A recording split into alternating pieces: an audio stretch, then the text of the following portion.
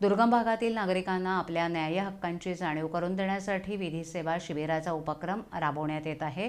कायद्याविषयी जागरूकता निर्माण करताना तळागाळातील नागरिकांना शासकीय योजनांचा लाभ मिळवून देण्यासाठी महामेळावा उपयुक्त ठरत असल्याचं प्रतिपादन मुंबई उच्च न्यायालयाचे वरिष्ठ न्यायमूर्ती ए. ए सय्यद यांनी शहापूर तालुक्यातील साबगाव इथे केले महाराष्ट्र राज्य विधी सेवा प्राधिकरण जिल्हा विधी सेवा प्राधिकरण आणि ठाणे जिल्हाधिकारी कार्यालयाच्या माध्यमातून साबगाव येथे विधीसेवा शिबिर तसंच विविध शासकीय योजनांचा महामेळावा घेण्यात आला.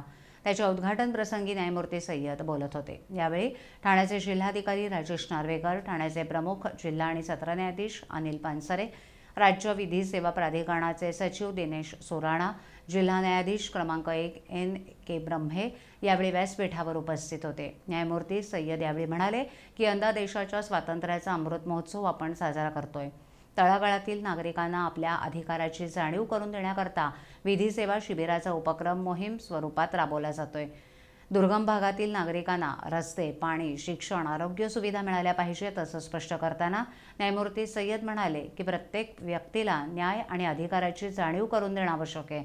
दुर्गम भागातील बांधवांना मुख्य प्रवाहात आणण्याकरता विविध योजनांच्या माध्यमातून प्रयत्न केले जात आहेत. या योजना लाभार्थ्यांपर्यंत पोहोचवण्यासाठी अशा प्रकारच्या महामेळाव्याचा उपयोग होतो असं त्यांनी सांगितलं. शासकीय योजनांपासून कुठलाही लाभार्थी वंचित राहू नये यासाठी विभागाने प्रयत्न करावेत असं आवाहन न्यायमूर्ती सय्यद यांनी केलं आहे